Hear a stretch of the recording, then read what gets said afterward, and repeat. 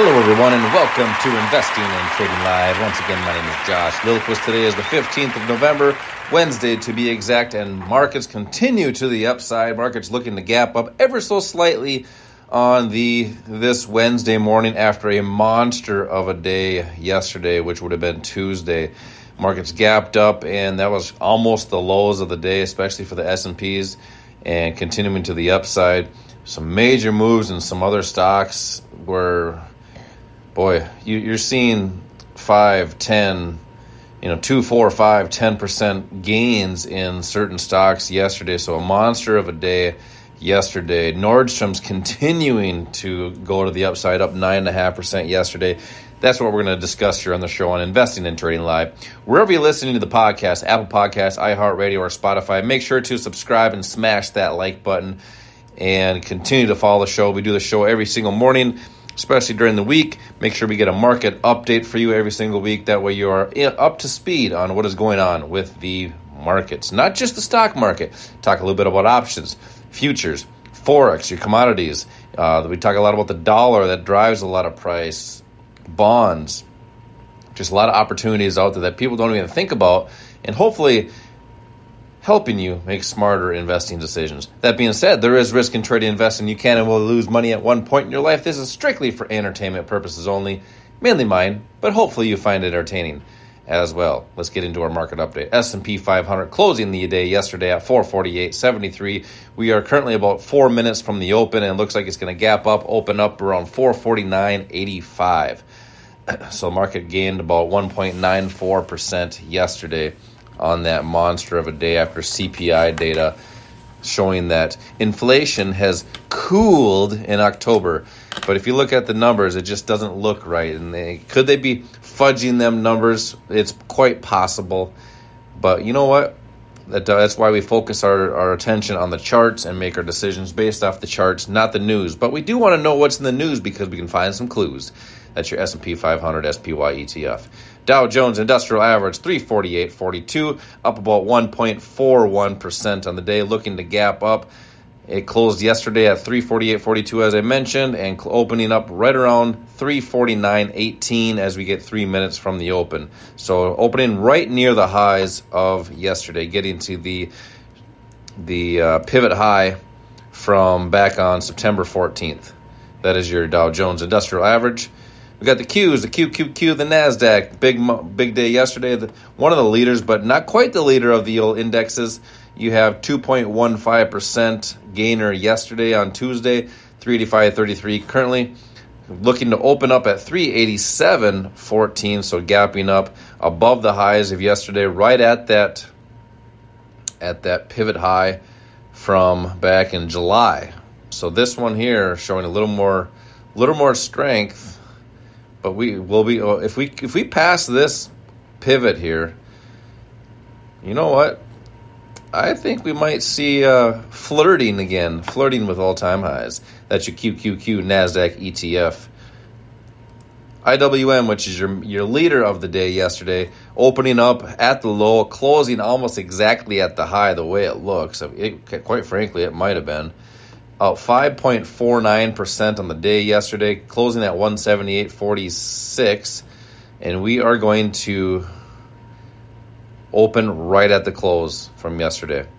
Actually, looks like it's going to open up two cents down as of right now. That could change over the next one minute as the market opens. That's your IWM. This has been the lagger, not not near all time highs at all. Got a long ways to go with the IWM. That's the weaker of the three, but the strength strongest yesterday. As far as other notable ETFs, XME, which is your mining and metals ETF, up five percent. XLB up 2.95, XLU, which is utilities, almost 4%, 3.99 respectively. Gold was up 0.89%. We're looking at the ETF here. XLE 0.89%, XLF, your financials 1.89% and rounding out your your ETFs, USO, which is oil, was down. The only, as far as my watch list, the only one that was down on the day, and currently opening up down as well, about 1.2%. So that was your ETF and major market update since we look at the ETFs for the indexes, indices, however you want to call that. Um, well, it looks like they're all all in the green right now again, except for gold. Gold is right at right at zero. But USO up down down on the day again. So that's your major market update and ETFs. Getting into some stocks. Actually, before we do that, well, no, we don't need to note this because Bitcoin hasn't moved a whole lot, but still at $36,178 per Bitcoin. HNT, $2.07.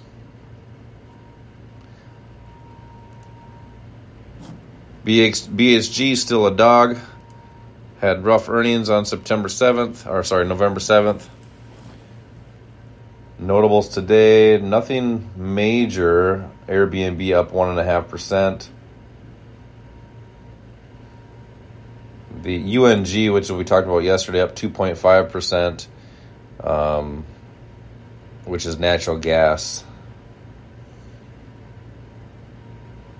Build a Bear up 1%, CAT up 1%. Nothing major as the market's opening here. American Airlines up over a percent.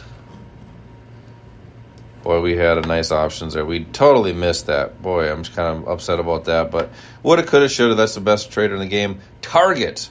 Ooh wee. Check this out.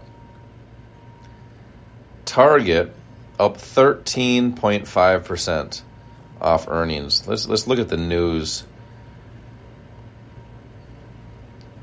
Um, or headlines.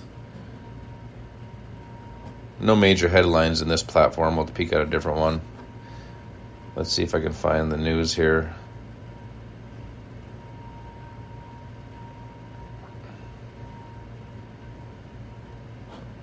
Thought I had a news stream here. Nope, whatever. But yeah, Target, great earnings yesterday. Surprise of uh, a 42.47% to the upside on earnings and revenue a surprise of 0.45% at 113 million. So wow, Target looking really good. We did some options on that a while back. I think we had the 100 no, 105 strike, I think it was. So Target looking really good, 13% to the upside coming right out of that demand zone that we had talked about for so, such a long time. Just a beautiful play out of that. Check the archives. We, we talked about that probably back on maybe in May, June, and July, just waiting for that. We did did one position on that, and uh, it's coming right out of that. So it took it took a while though, September 26th all the way till now. So almost a month and a half to get out of there. But then again, it doesn't matter. Time does not matter in your trading investing. It's price. So way to go, Target. Disney up 2.8%. We did some options on that a while back. Looks like back in July. JWN, which is Nordstrom's. That still con- also continuing to the upside. Just beautiful coming into earnings here next week. Uh, we did an options play on that, so we'll see if that holds as we continue that. Macy's up 4%. Macy's doing well, but they got earnings coming up tomorrow, today, end of market today. No, before market open.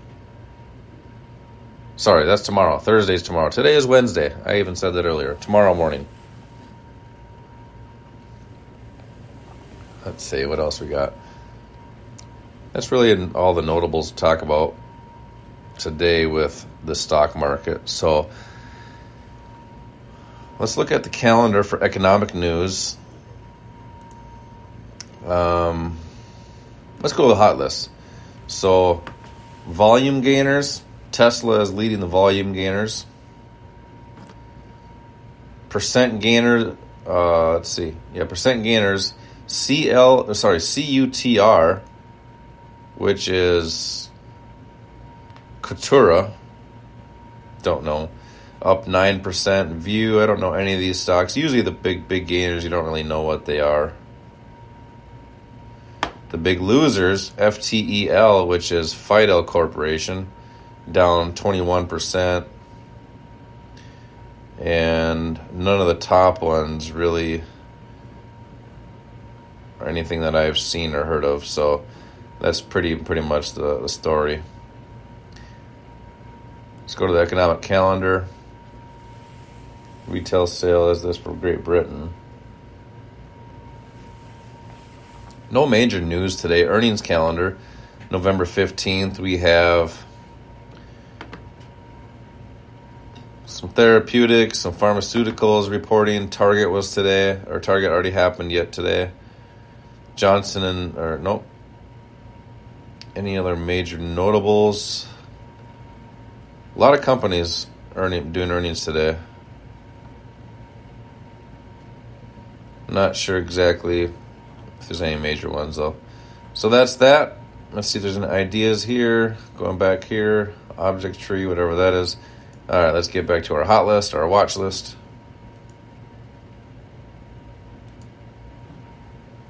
Go to the dollar. So the dollar is up today after a monster day to the downside yesterday. Down on off the highs from back in the beginning of October till now, we're down about three percent. That's that's big for the dollar. So our dollar purchasing power has went down. That's why the stock market has been going up.